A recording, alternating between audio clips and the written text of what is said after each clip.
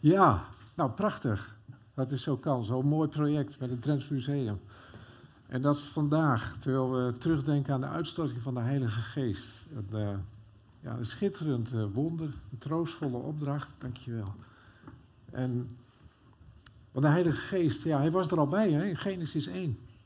Hij zweefde over de wateren. Dus een goed moment, ja sorry.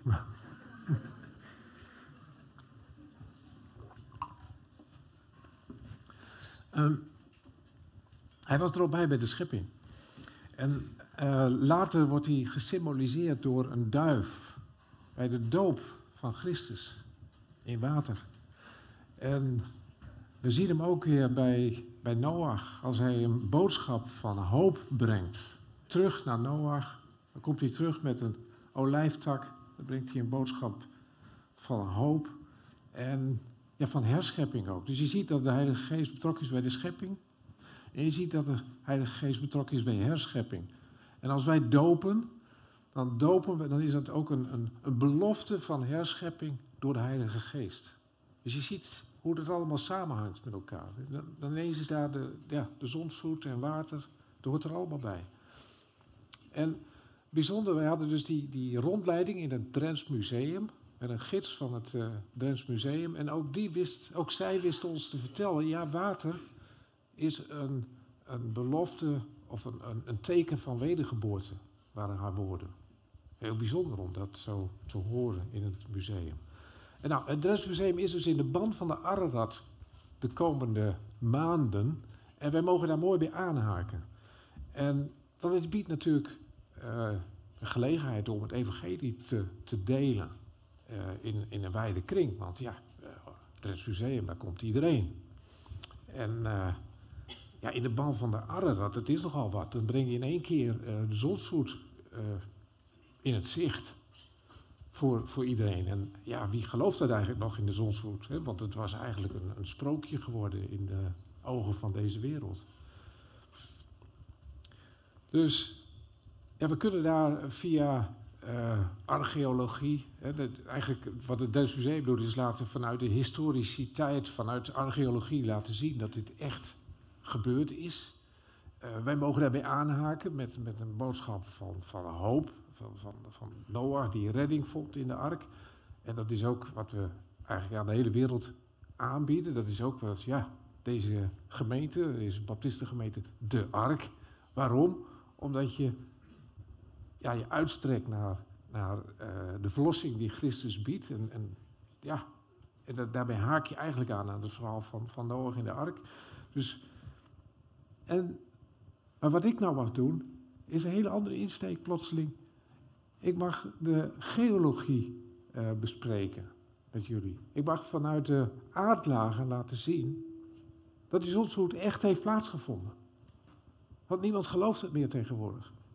Dus het wordt heel spannend. Jullie krijgen een boodschap vandaag die je waarschijnlijk uh, nog nooit gehoord hebt. dus, uh, nou, het is bijzonder om dat te doen terwijl we de Heilige Geest herdenken, de, de uitstorting van de Heilige Geest. En eigenlijk begint dat natuurlijk in, in Jeruzalem dat, de Heilige Geest wordt uitgestort en, en Petrus die spreekt dan voor duizenden mensen. En duizenden mensen komen tot geloof, hè, want de Geest opent harten. En dan 301 jaar later, 301 jaar na Christus, in onze tijdtelling, zien we dan dat Armenië het eerste land ter wereld is dat het christelijk geloof aanneemt als staatsgodsdienst. Dus dan ben je van Jeruzalem, zit je ineens in Armenië, het eerste land ter wereld. En dat wordt nu in het Drents Museum, dus, het Drents Museum haakt eigenlijk aan met die christelijke traditie. En, en daar mogen wij het nu weer aan aanhaken. Zo prachtig. En je ziet dat de. Oh, nou moet ik iets doen. Ja, het werkt. Uh, je ziet eigenlijk dat de Armeense identiteit is uh, verbonden met zonsvloed. Armeniërs die weten heel goed dat zij afstammen van Noach. Ze zeggen dat ze afstammen van Javed, de zoon van Noach, die ook in de ark was. En die identiteit is voor hun zo hevig en belangrijk dat uh, toen dit museum, of toen deze expositie werd geopend hier in Assen, kwam de minister-president van Armenië naar Assen. En hij kwam niet alleen, hij had vier van zijn ministers bij zich. Dus zo belangrijk is het. En je ziet ook dat de Armeniërs die hier in, uh, in Nederland wonen, dat er een aantal Armeniërs die zeiden van ja, dit is zo top. Wij bouwen een ark van Noach en die zetten we op de brink voor het museum. Nou, maar die identiteit is, is natuurlijk wel heel kwetsbaar. Heel kwetsbaar. Want er zijn spotters gekomen. En die hebben gewoon gezegd: ja, dat is allemaal onzin. Is een sprookje. Dat zijn spotters die willens en wetens de zonsvloed als een fabeltje wegzetten. En Petrus, diezelfde Petrus, die bij de uitstorting van de Heilige Geest zo bewogen was en daarover kon spreken, diezelfde Petrus heeft ons gewaarschuwd van ja, met de, deze boodschap de wereld inbrengen, zullen nou ook spotters komen. En die zullen zeggen, het is een sprookje. En ja, dat zijn dus, dat zien we in deze tijd, hè? want als je nu naar school gaat, als je op school onderwijs krijgt, dan wordt er niet verteld over, over zonsvloed, maar er wordt er verteld over evolutie, over miljarden jaren. En maar, maar, maar, deze enorme ingrijpende gebeurtenis van zonsvloed, alles onder water, nee, dat, dat gelooft niemand. En dat, dat vanaf de Ararat de hele wereld herbevolkt zou zijn geworden. En dat er uh, alle landdieren vanuit de Ararat weer door God verspreid zijn over de wereld. Dat hoor je niet op school. Dus we krijgen een heel ander verhaal op school te horen. En je krijgt eigenlijk nu dus dat er een, een, ja, een Goliath staat tegenover uh, ja, Baptistengemeente de Ark, tegenover de Armenen, tegenover de hele kerk. Er staat gewoon een Goliath, het evolutionisme, en die staat je gewoon uit te lachen en die staat je te bespotten. Nou, ik wil eigenlijk vandaag samen met jullie net als David zijn. En ik wil net als David een steen oppakken. David pakte een paar stenen op, weet je nog? En daar deed hij iets mee. Nou, wat hij ermee deed, dat, dat, ga ik niet letterlijk uh, doen. Dat lijkt me niet heel verstandig. het is nogal een steentje. Maar die wil ik uh, doorgeven. Dus als je deze, als je hem nou doorgeven, André, dus dan gaat hij zo naar achteren. En als hij hier dan in het middenvak weer naar voren komt en dan in het zijvak weer naar achteren. En als hij dan achterin komt, dan mag hij wel uh, uh, op een tafeltje of zo. Ik denk dat daar straks een tafeltje komt, want ik heb nog een, een, ja, een samenvatting van, van mijn onderzoek. Ik doe namelijk al 15 jaar doe ik onderzoek. Ik ben hier net voorgesteld als, als geoloog. Dat is niet helemaal juist. Ik ben een ingenieur die al 15 jaar lang onderzoek doet naar aardlagen en naar zonsvloed, zonsvloedgeologie. En ik heb een, uh, een, samenvatting van mijn werk, dat ligt daarachter. En dan, dus als deze, dit is trouwens een klomp zout, een steenzout. Als dit zout daar achterin is, dan mag je daar wel, wel bij die uh, tafel leggen, waar ook uh, al die A4'tjes voor mij liggen. En iedereen mag daar straks een A4'tje van meenemen als je eruit gaat. Sorry. Oké, okay. daar gaan we dan. Het zou der aarde. Uh, we gaan even heel erg de diepte in. Jullie hebben dit nog nooit gezien. Dit is Nederland. Uh, hoe kan ik hier. Ja, zo maar. Je ziet hier. doet dit ding wel. Ik ben bang, ik ga maar gewoon aanwijzen, denk ik. Ik denk dat dat beter is. Je ziet hier Nederland. Die, die contouren. En nou, Nederland is niet zo bergachtig, hè? Dus wat we zien hier is kilometers de bodem in, zien we de onderkant van een laag zout. We hebben een enorme zoutlaag onder Nederland. En deze doorsnede die daar overheen is getekend, want er is een, een doorsnede overheen geprojecteerd, die gaat van, van, uh, van, uh, van west naar oost 1500 kilometer. Dus daar zie je Engeland links en dan de Noordzee onderdoor en dan Denemarken, Duitsland en Polen. Dus het is, een, een, compilatie, het is een samenvoeging van twee plaatjes eigenlijk. Je ziet aan de ene kant de onderkant van de zoutlaag. En je ziet hoe grillig die zoutlaag is. Je ziet daar bovenop geprojecteerd een doorsnede, een hele lijn van links naar rechts. En dan zie je die, die beige kleur, dat is de, de zoutlaag. En je ziet hoe grillig die daar bovenop ligt. Er zitten gigantische eh, hoogteverschillen in, kilometers omhoog. En bijvoorbeeld daar meer in dat Duitse deel, daar, zit, uh, daar zitten pijlers van, uh, van bijna 10 kilometer hoog. En een voorbeeld, om een voorbeeld te noemen, Helgoland, dat is een eiland in de Noordzee, in de Duitse bocht. Helgoland, het is de top van een zoutpijler van 6 kilometer hoog. En dat zit allemaal begraven onder al die andere lagen. Die paars en, en blauw en groen en, en nou, noem ze allemaal maar op. En de bovenkant is dan hartstikke mooi strak vlak. En daar leven wij eigenlijk op, min of meer. Dus zo, zo ziet de bodem van. Ja, zo grillig is de bodem onder onze voeten. Nou, wat is daar gebeurd? Daar gaan we even met elkaar over, over studeren. Maar je ziet wel enorme verticale uh, gebeurtenissen zijn er gebeurd. Nou, nou is het zo, oh trouwens dat heb ik nog niet genoemd. Ja, we moeten natuurlijk naar uh, uh, Jezaja, dat wil ik toch even noemen nog. Uh, hebt u niet gelet op de fundamenten der aarde? Dat, dat is iets waar we heel gemakkelijk overheen lezen. Maar de Bijbel roept ons, ons dus ook op om geologie te bedrijven, om, om aardlagen te gaan bestuderen en daar conclusies aan te verbinden als het gaat over het begin van deze wereld. En ik zeg dus dat die zoutlaag, dat dat vulkanisch zout is, maar evolutionisten die hebben bedacht van nee, dat is een, een zout dat heel langzaam in miljoenen jaren is afgezet door zeewater te verdampen. Nou, maar dan heb je een boel zeewater nodig hoor. Dat is lang niet mals, want die zoutlaag is bijna een kilometer dik. En dat hele zegsteinzout, dan praat je over iets van 300.000 kubieke kilometer zout. Hoeveel zeewater je dan moet verdampen en hoeveel miljoenen jaren je nodig hebt, dat is eigenlijk met geen pen te beschrijven. Maar goed, dat is dus het evolutionistische geloof. Maar als je zegt van nee, het is een vulkanische eruptie, ja, dan is het gewoon klaar. Dan, gaat het heel snel.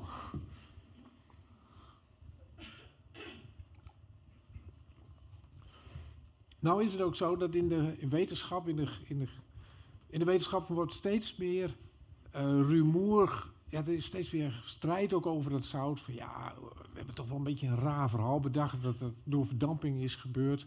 En er zijn steeds meer wetenschappers die zeggen, ja, we moeten toch kijken naar een andere manier. Maar los daarvan, ze geloven allemaal op dit moment nog steeds van, van nee, het is toch een indamping, maar, maar er wordt aan betwijfeld. En bijvoorbeeld wordt in 2018 is dit gepubliceerd. We zien een wonderlijke overeenstemming uh, tussen uh, wat, er, wat het zout doet. Want het zout, dat is dus heel mobiel. Dat, dat, dat onderste laag zout, die kan, woeps, kilometers omhoog gaan. En die lagen eromheen, die geven daar gewoon ruimte aan, die lagen die er bovenop liggen. En het zout, het kan zelfs, uh, ja, gewoon, uh, dan, dan, dan verdwijnt het gewoon. Dan wordt het zo weg, en dat kan natuurlijk, als het dun vloeibaar is, dan kun je het wegknijpen. En dan krijg je wat je noemt een weld.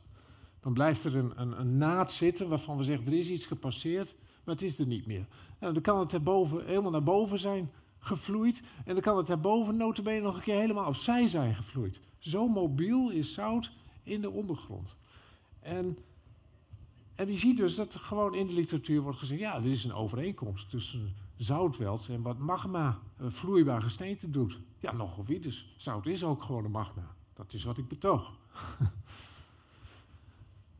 We kennen bijvoorbeeld in uh, Oost-Drenthe ligt een, uh, een, zoutpijler en ja, daar zie je hoe dat vulkanische zout dus als een magma omhoog is ge, gekomen te midden van triaslagen. Trias is ook weer een geologische periode, maar dat is gewoon allemaal zand, klei en kalklagen zijn dat. En je ziet hoe dat, dat omhoog is gekomen en opzij weg tussen die andere gesteentelagen in is gedrongen. Nou, dit is wel heel, heel bijzonder, want je ziet ook hoe die andere lagen helemaal krom zijn gebogen. Hebben jullie wel eens een, een gesteente krom gebogen? Heb je daar goede ervaringen mee? Niet echt. Dus wat, wat blijkt hieruit? dat gesteente was toen geen gesteente. Dat gesteente was toen ook nog gewoon zonsvloedmodder. Dus die triaslagen, dat is gewoon zonsvloedmodder geweest en daartussen is dat zout al stollend is het daartussen gekomen. Dus weer een bewijs van, joh, we hebben het gewoon over zonsvloed.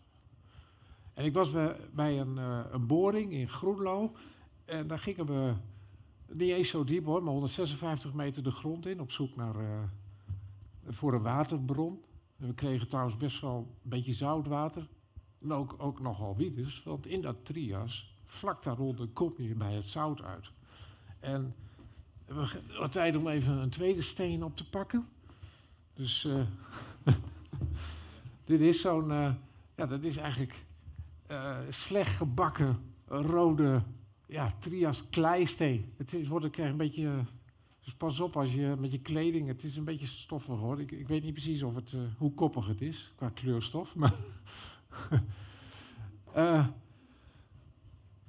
dat is roodgebakken steen. Het is niet het beste uh, bakwerk, omdat het nou een stikvol water was op het moment dat dit plaatsvond. Nou, we zien ook bij de Noordkaap, dat zijn we helemaal in het noorden van, uh, van Noorwegen, voor de kust van de Noordkaap, daar is een vijf kilometer hoge zoutpijler, dat is aan de rechterkant van dit plaatje. Een vijf kilometer zoutpijler die woem zo gestold is, te midden van modderlagen. Je ziet ook hoe die modderlagen ruimte hebben gegeven voor die pijler om te vormen. Want ja, die modder moet toch aan de kant om die pijler zo te laten stollen. Maar aan de linkerkant van het plaatje zien we een heel bijzondere test die je thuis nog niet zo gemakkelijk na kunt doen. Daar is olie en water uh, boven elkaar gehouden. Nou, dat gaat meestal vanzelf. Olie drijft op water. Uh, want olie is lichter. Maar als je dat nou andersom doet, dan gaat het olie in no time vloeps omhoog. Begrijp je? Nou, dat is iets wat je thuis niet zo makkelijk kunt reproduceren. Dan hebben ze in een laboratorium hebben ze dat ge, geproduceerd. En hebben ze daar met een hoge snelheidscamera in plaatjes tjuk, tjuk, tjuk.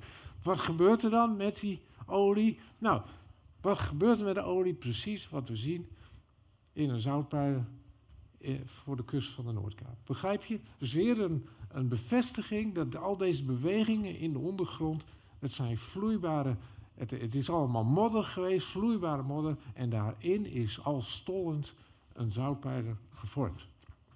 Dus het zouteraarde getuigt van uh, de zonsvloed.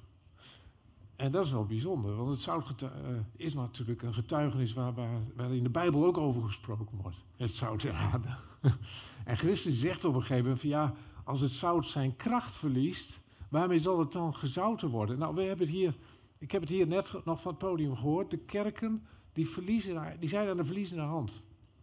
De kerken lopen leeg, uh, geloofsoverdracht naar de nieuwe generaties uh, is ook moeizaam, vooral ook omdat op scholen, zelfs op christelijke scholen, wordt gewoon gezegd dat, dat wat in de Bijbel staat, ja, dat, dat is, uh, dat moet je met een korreltje zout nemen. En, ja, ja. En dus heb je best wel, we zitten in de, aan de verliezende kant. En waarmee moet het zout nou ge, gezouten worden, zegt Christus. En ik vind het heel bijzonder dat hij dat zegt, want als je dan inderdaad onderzoek doet in de aardlagen, dan kom je bij het zout der aarde. En dan zie je dat het zout der aarde zelf weer getuigt van die zonsvloed, die tegenwoordig zo bespot wordt. En dit is al in de Golf van Mexico. Onder de Golf van Mexico, dan zie je vanaf 10 kilometer diep, zie je daar hoe uit scheuren uit de ondergrond vloeibaar zout en magma omhoog is gekomen. Terwijl tegelijkertijd uh, zonvloedmodder, sediment noemen we het dan in de geologie, sedimenten uit water worden gedeponeerd. En je ziet die sedimenten die geven ruimte aan dat uh, vloeibare zout om al stollend weer weg te vinden. Dus dit is een heel machtig getuigenis wat het hele evolutionisme ontkracht. Want het evolutionisme zegt van nee, uh, wij hebben gewoon daar 4,6 miljard jaar geschiedenis in de bodem. En al die lagen die daarin zitten, die kun je teruglezen als een boek. En dan ga je terug in de tijd. En alweer uh, 10, 20, 30 miljoen. En je gaat steeds verder terug in de tijd. Maar wij hebben net, ik heb jullie net laten zien, nee hoor, dat is allemaal in één keer. Het was allemaal op één moment vloeibaar. Het is allemaal op één moment eh, gedeponeerd. En, maar we hebben eigenlijk een strijd over 1,1 miljard kubieke kilometer sediment. Dat is zo, zo gigantisch groot. Dat is onvoorstelbaar. Dat is gemiddeld, met alle continenten die liggen dus onder lage, lage, lage uh. En dat is gemiddeld 5 kilometer, een pakket van 5 kilometer dik, over al die hele continenten heen. En er nog ietsje naast. Maar het ligt dus niet in de oceaan, die sedimenten liggen op de continenten. Ja. Daar moeten we ons over verbazen. Maar dat is dus een strijd over die 1,1 miljard kubieke kilometer. Waar komt het vandaan?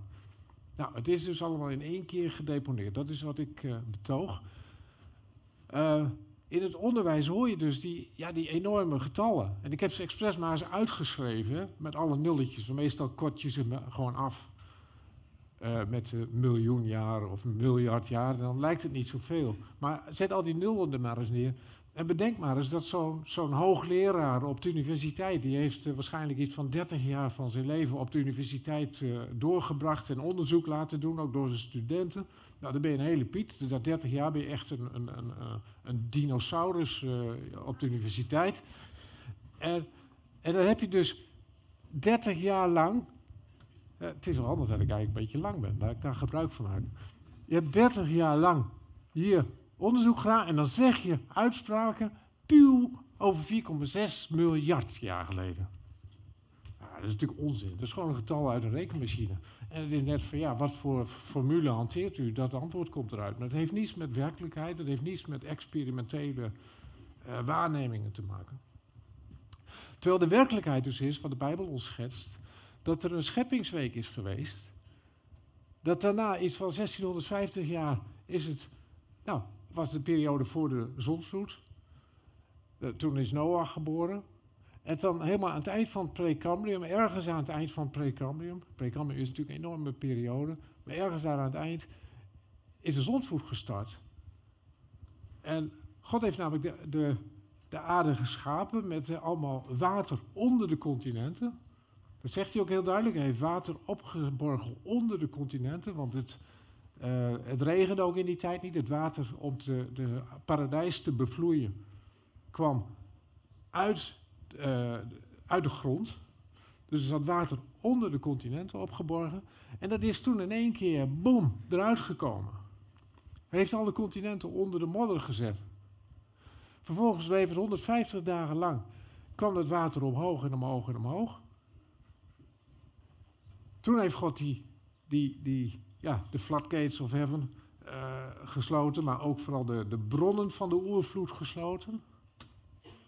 En toen nog 220 dagen moest Noach met de zijnen moest in die ark blijven zitten. Hij mocht er niet uit. Hij moest 220 dagen blijven zitten, terwijl het water zakte en zakte en zakte. En dan vervolgens mocht hij een keer uitstappen. Nou, dan kom je zo'n beetje in het Holoceen. En dat is ongeveer 4300 jaar geleden. Dus dat is de werkelijke geschiedenis waarover wij ons, uh, ja, moeten, waar wij mee geconfronteerd worden. Nou, nog even dat zout. Er zijn zoutpijlers gevonden tot, tot 10 kilometer hoog. En je ziet wel dat zout, het moet dus van alle kanten zijn toegevloeid. Als zo'n enorme pijler, hè, want zo'n ding is gewoon 1, 2, 3 kilometer dik. En gewoon dan 10 kilometer hoog in dit geval. En dan daarboven gaat hij nog eens een keer uitvloeien. Dat betekent dat het van onderaf, van alle kanten, waar zout naartoe is gevloeid. Vloeibaar zout. En het bijzondere van plaattectoniek, in de wetenschap wordt het heel vaak ge, gekoppeld aan plaattectoniek. Maar dat is best wel lastig om dat te begrijpen, want plaattectoniek, dan praat je over gigantische bakbeesten van continenten. Een paar duizend kilometer lang, een paar duizend kilometer breed. En als die in beweging zijn, ja, je krijgt allerlei drukken en allerlei toestanden. Maar wat je niet krijgt is vloei naar een middelpunt en dan woept omhoog en dat soort dingen. Ja, dus er is helemaal geen relatie te leggen tussen plaattectoniek en uh, deze bewegingen. En dat is even een bruggetje naar uh, plaattectoniek wat ik met jullie wil maken. Wat ik uh, op dit moment eigenlijk heb, heb, verteld, het zout, het getuigenis van het zout der aarde, dat is wat ik, want ik krijg een kwartiertje spreektijd in het Drents Museum. Dus dat daar ga ik me echt focussen op het getuigenis van het Zouderade. Dat zet ik neer in het Drents Museum. Maar ik heb hier gelukkig wat meer tijd gekregen. Dus ik vind het ontzettend fijn om jullie even een iets breder beeld te schetsen. En dat is best wel weer ingewikkeld, ook voor jullie. Sorry, maar ja, dat moet dan maar even. Dus plaattectoniek, weer een heel ander verhaal. Dat, je kent het allemaal wel, die, die schuiven continenten. En dat, dat dus de oceanische korst, die duikt dan onder de continentale korst. Maar dat is nog helemaal niet zo simpel. En in de wetenschap is daar heel veel discussie over, van hoe dat dan eigenlijk moet hebben gewerkt. Want het is nogal niet wat. En bijvoorbeeld, wat je hier ziet, je ziet dat het, die oceanische korst, die komt van links naar rechts en dan moet hij de bocht om. Oh, gesteente dat de bocht omgaat. Wat is onze ervaring met gesteente dat de bocht omgaat? Dat verbrijzelt. En wat zien we dan na de bocht? Dan gaat ineens weer recht naar beneden. Nou, dat is dus een sprookje. Dat kan helemaal niet. Dat gaat gewoon niet gebeuren. Je kan niet gesteente de bocht omtrekken en dan nog heel beneden, naar beneden gaan. Dat, dus dit is een, een, een, voorstelling van zaken die niet helemaal kan kloppen. Maar het is wel wat we zien. Als we de bodem onderzoeken met seismische data, en we, dan is dat wel het plaatje wat we zien. Dus het enige wat ik op dit moment even wil zeggen, we snappen het niet, maar we zien het wel. Nou, wat ik wil betogen eigenlijk is dat die continentenspreiding uh, niet langzaam heeft plaatsgevonden. Dat kan gewoon niet. En uh, het kan ook niet snel in het zonsvloedjaar, want dat wordt ook wel betoogd door wetenschappers. Mijn conclusie die ik even vooruit doe is van ja, er is eigenlijk maar één die continenten kan ver verplaatsen. En dat is de scheppende God. Dus dan zijn we terug in Genesis 1. Uh, ik ben tot de conclusie gekomen dat continenten op een plek zijn gebracht God zelf. Alleen God, die is sterk genoeg, die is machtig genoeg en die kan continenten over de aarde verschuiven. En die heeft kennelijk op de derde scheppingsdag dat die handeling verricht. Ja, want, en waarom dan? Nou, bijvoorbeeld, die continenten zijn dus uh, tot 80 kilometer dik, hè? Zien jullie dat al uh, door mantelgesteente ploegen? Zo'n continent, zo'n bakbeest, en die moet dan even een paar duizend kilometer door het mantelgesteente heen uh, verplaatsen. Nou, zet hem op. En dan zeg je van ja, maar door het eigen gewicht van, van die korst zakt het dan weg in de bodem. Dus, dus het trekt. Het trekt gewoon het, die korst achter zich aan. Ja, maar dat kan dus niet, want hij zou daar ter plaatse immers zijn afgebroken. Dus je kan er niet aan trekken. En als je zegt van ja, maar vanuit de oceanische rug, midden in de oceaan, vanuit de oceanische rug, daar duw ik gewoon die, die, die bodem weg. De oceanische korst. Ik duw hem gewoon weg. Dat kan ook niet. Want stel je maar eens een hele grote bulldozer voor, die op de flank van een berg een, een, een deel van die, van die berg wil wegduwen. Nou, ik geef het je te doen. En je, wat je zal zien is dat alleen ter plaatse waar je duwt, daar verbrijzelt het gesteente. Maar je bent niet in staat om zelfs maar 10 meter verderop een verplaatsing te realiseren. En dat geldt dus ook met dit soort dingen. Je kan niet tegen een continentale plaat of tegen een oceanische korst aanduwen en dan verwachten dat het 2000 kilometer verderop verplaatsing ontstaat.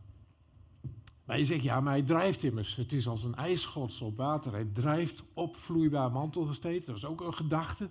Allemaal heel leuk en aardig. Maar dat is niet in overeenstemming met wat we zien. Wat we zien immers dat hij duizenden kilometers omlaag gaat. En als hij drijft, dan gaat hij niet omlaag. Dus, ja. En degene die zeggen, ja, maar tijdens de zonsvloed, toen gebeurde het. Toen zijn die, die continenten onder water heel snel verplaatst. Nou, dus je hebt een continent, vijf kilometer zonsvloed, modder erop. En dan onder water met een rotgang dat continent verplaatsen. Waar blijft die modder? Overal, maar niet op het continent. Ja? dus ook dat gaat weer niet werken. Dus mijn conclusie is, die continenten zijn verplaatst op de derde scheppingsdag. En pas tijdens de zonsvloed, toen is al die modder erop gedeponeerd. Maar we hebben wel die waarneming natuurlijk. Daar, daar, daar, kom ik nog zo nog wel even op terug. Dus daar moet ik nog even met jullie naar op zoek. Van hoe kan het nou wel? Nou, wat we zien, en dat zag ik eigenlijk direct al in het eerste plaatje van over het zout wat ik jullie zien.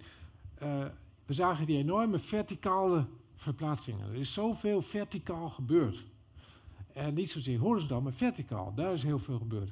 En je kan je voorstellen, als je zo'n segment van de aarde hebt, en dat een, continent dus uh, op, op zo'n segment is, en dat er dan een vulkanische kracht is die aan het eind van de vloed zo'n heel segment, zo'n heel continent omhoog tilt.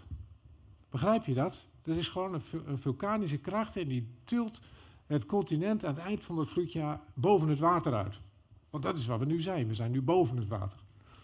Dan krijg je dat zo'n segment, ja, die zat natuurlijk lekker in die aardbol, maar als je hem een beetje omhoog duwt, dan heeft hij wat onstabiliteit. Dus hij kan uit elkaar breken. En dat zien we bij de Grand Canyon daarboven. Dus bij de Grand Canyon zien we heel duidelijk dat hij omhoog is gekomen en dat het uit elkaar is gevallen. Dus dan krijg je canyons. En je krijgt ook de huidige waarnemingen dat, dat continenten nog een beetje. Nou ja, continenten kunnen nog uh, alle kanten op, weet je wel. Dat, dat zien we op dit moment. En dat verklaart dus dit soort plaatjes. Deze plaatjes die zijn dus wel degelijk wat we waarnemen. Maar wat we waarnemen is gewoon een restant van de zonsvloed. Dat God aan het eind van de zonsvloed met vulkanische krachten die continenten omhoog heeft geperst.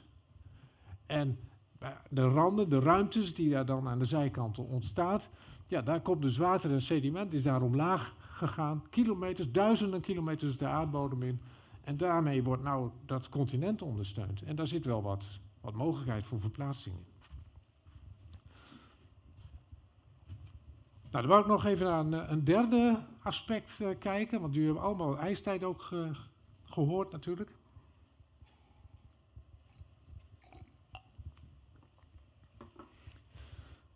Um, een wereldwijde ijstijd. Nou, op zich al dat ik zeg wereldwijd, dat is al wel heel bijzonder, want iedereen denkt bij ijstijd eigenlijk alleen maar aan, aan Nederland en alles noordelijker uh, van Nederland, dus die, die, die breedtegraad. Maar uh, ja, dat zogenaamde ijstijdverhaal, dat is natuurlijk een evolutionistische uitvinding. Uh, maar het is een enorme catastrofe geweest. Er zijn veel uh, christenwetenschappers ook die ijstijd na de zonvloed zetten. Die zeggen, ja, we hebben eerst zonvloed gehad en dan 700 jaar later is er een ijstijd geweest. Nou, ik, ik, ben daar zeker geen voorstander van, van dat gedachte. Goed, maar dat wordt wel heel breed gedragen in de, bij de christelijke wetenschappers. Want ja, je moet je wel voorstellen, die ijstijd was wereldwijd. Het was niet alleen uh, in Nederland en noordelijker. Nee, uh, Afrika, enorme rampen. Er is van alles omgekomen. Australië, uh, Zuid-Amerika. het is een drama in de bodem, in ijstijdafzettingen. Wat daar allemaal te vinden is, er zijn wereldwijd, er zijn tijdens dit, hè, stel je de ijstijd losmaakt van zonsvloed, dan zijn er tijdens de ijstijd meer mensen en zoogdieren omgekomen dan tijdens de zonsvloed. Dus dat is dan best wel raar als je in Genesis 9 leest dat God uh, heel uitdrukkelijk, uh, tot twee of drie keer toe, zelfs, uh, is daar genoteerd dat God een verbond sluit met mens en dier. Dat ze veilig uit die ark mogen stappen. En ze mogen erop vertrouwen. En God zet er zelfs nog een, een, een regenboog bij. Er komt niet weer iets met water op jullie af. Ja, vervolgens komt er een ijstijd. Dat is bevroren water. Ja, dat is een beetje, beetje gemeen. Beetje gemeen. Dus, uh, het gaat om, om waanzinnige uh, hoeveelheden dieren. Uh, soorten die uit zijn geroeid, compleet van de aardbodem, ook nooit weer terugkomen. Hè. Dan hebben de wolharige mammoet, de wolharige neushoorn, de mastodont, reuzenhert, reuzenwolf, reuzenpekari, nou noem ze allemaal maar op. Bij al die dieren heb ik niet altijd een beeld, een plaatje. Misschien enkele van jullie wel, maar ik, ik weet het niet eens. Het is een onvoorstelbaar drama, die ijstijd. En de aantallen, als je alleen al in Siberië kijkt, dan praten we daar over minimaal 15 miljoen mammoeten die daar gevonden zijn. En er zijn schattingen gemaakt tegenwoordig tot 150 miljoen. Misschien zijn het er 150 miljoen, ja, wie kan ze tellen? Het is, het is gewoon bizar. Zoveel dieren als dat daar zijn omgekomen. En dat is dan allemaal uitgestorven, maar er hebben ook nog een keer ontzettend veel fossielen van dieren die niet zijn uitgestorven. Zoals nijlpaarden en krokodillen en dergelijke. En als je die in Nederland dan, in de Nederlandse bodem en in Engeland en in Zweden, nijlpaarden en krokodillen. Uh, sorry, dat kan toch niet. Dus alles wijst hierop dat dit gewoon, uh, dit is gewoon zonsvloed. Dit zijn gewoon zonsvloedafzettingen. Maar hoe zit het dan precies? Hè? Want hoe, hoe, hoe moet je nou die afzettingen dan wel duiden in een zonsvloedjaar? Nou, dat is eigenlijk relatief eenvoudig, want tijdens de zonsvloed, dat was het, het moment bij uitstek om een enorme uh, ijskap te maken. Want al die neerslag die naar beneden kwam, die kwam op de polen gewoon neer, die vormde een enorme ijskap. we, kennen het zelf ook in de zomer bijvoorbeeld. Stel, uh, in de zomertijd, dan kan er maar zo een stijgregen ontstaan, dat, dat, dat, dat er heel veel water verdampt, dat gaat heel hoog de atmosfeer in, en dat komt dan terug ijskoud. Ijskoude hagel op je dak. Nou, dat gebeurde ook tijdens de zonsvloed. Er kwam uh, water van de grote diepte van onder die continenten vandaan. Daar is het warmer. Dus er komt vrij warm water komt omhoog. Daar is een enorme verdamping. En dan krijg je dus catastrofale neerslag van hagel en sneeuw. Dus je krijgt een ijskap die wordt automatisch gevormd tijdens de zonsvloed. En even zien hoe had ik dit nou. Dan krijg je vervolgens, want dan komen die verticale tectoniek weer. Aan het eind van het vloedjaar wordt die continenten omhoog geperst. Maar er zit een ijskap boven. Dus wat moet er dan? Het water moet daar onderweg. En zo krijg je dus die, die hunebedstenen, die worden van onder het, onder het ijs, dus die, die, dat ijs zit er bovenop de pool, helemaal vanaf, uh, vanaf de pool helemaal tot ja, rondom uh, Siberië en, en Canada en uh, nou, enorme ijskap. En dan komt daar onder die continenten komen omhoog. Dan moet het water wat onder de ijskap is, dat moet zuidwaarts weg. En dat neemt dan holder de bolder de bolder stenen mee vanuit Zweden naar Nederland. Want wij hebben hier stenen liggen, die zijn 1500 kilometer verplaatst, horizontaal. En die grote hunebedstenen, die zijn niet door hunebedbouwers vanuit Zweden hier naartoe getild. Nee, echt niet. Die zijn dus door zonsvoetwater rommel de bammen hier naartoe gebracht en vervolgens hier weer door mensen opgepikt veel later. En we zien daar allerlei uh, ja, bewijzen van. We zien bijvoorbeeld de Nederlandse bodem, die is helemaal dus tijdens de gedeponeerd. Mooi vlak afgewerkt, eigenlijk door het zonsvloedwater. Maar dan plotseling zien we aan het eind dit soort geulen in de ondergrond gevormd. En in Assen hebben we er ook ervaring mee. We hebben dit, dit zijn geulen die zijn weer later bij het smelten van het ijs dichtgeslipt met zoetwaterklei. En zo is de Pelo-formatie ontstaan. En we hebben hier in Assen een wijk, Pelo. En, en we wonen dus op zo'n ja, op zo'n zo'n uh, zo'n geul eigenlijk. Die is dus wel weer helemaal dichtgeslipt met zoetwaterklei, maar we kunnen het zichtbaar maken met, met uh, trillingen in de bodem, dat dit oorspronkelijk heel kortstondig zijn even deze geulen er geweest in de bodem. En dat is dus door heel hard spuitend water van noord naar zuid uh, gevormd. En onder de Noordzee, nota bene, hoor, je het tot 700 meter diep. Dat is onvoorstelbaar. Wat een catastrofe dat is geweest. Dat is zoveel water. Er is heel veel water voor nodig. En met grof geweld. Met stenen en rommel de bommel erin. Dat is enorm uh, agressief.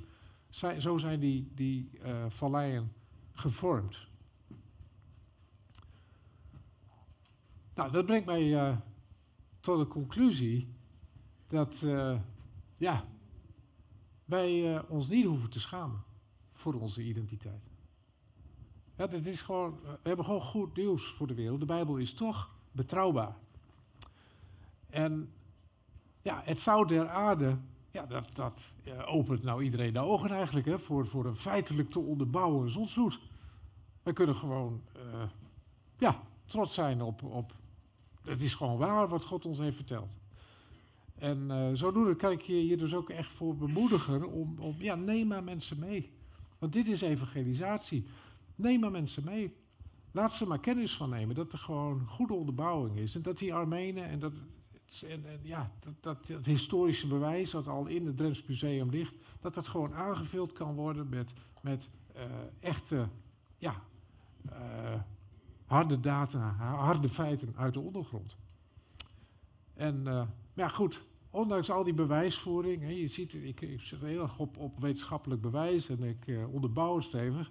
Maar we moeten ons wel bij uh, blijven realiseren dat in dit alles, het is toch uiteindelijk de geest die harten opent. En daarom is het ook wel bijzonder om het zo op, met Pinkster, om dit met jullie te delen. Want uiteindelijk draait het daar, ja, het is toch God die door zijn geest ons bemoedigt. Het is de geest die harten opent. Ik, ik heb nog een minuutje, denk ik. Ja? ja. Nee, want dat, dat, dat, schiet mij te binnen. Ik heb dat ook wel eens vaker tegen iemand gezegd. Uh, nog een voorbeeldje uit de Bijbel. We kennen dat Mozes, die ging naar de farao. En Mozes, die werd door God bewogen, of door, ja, door de geest bewogen, die moest naar de farao. En hij kwam met Gods woord voor de farao. Maar wat deed de farao? Die legde dat woord aan de kant. Die verhardde zijn hart, die wilde Gods woord niet horen. En wat deed hij toen? Hij kwam ook nog met zijn eigen magiërs. En zijn eigen magiërs, die konden ook uh, stokken op de grond gooien en dan werd het een slang. Dus dat zie je nou ook. Je ziet evolutionisme, dat is een heel krachtige theorie, zeggen ze. We kunnen alles goed verklaren. Maar wat blijkt nou? Uiteindelijk zal de waarheid de leugen verteren. Want Mozes slang, die frat die anderen nog. En in dat spanningsveld, echt, het is zo'n hard spanningsveld. In dat spanningsveld zitten wij, ja, functioneren wij. En in dat spanningsveld gaan wij naar Drents Museum. Het is dus, ja, ook, ook wel heftig. Maar ik wil je daarmee bemoedigen om toch gewoon, ja, neem, mensen mee. Laat ze hier kennis van nemen. Want de meeste mensen zullen dit niet, uh, niet zomaar horen. Dat was eigenlijk uh, wat ik met jullie wilde delen. En.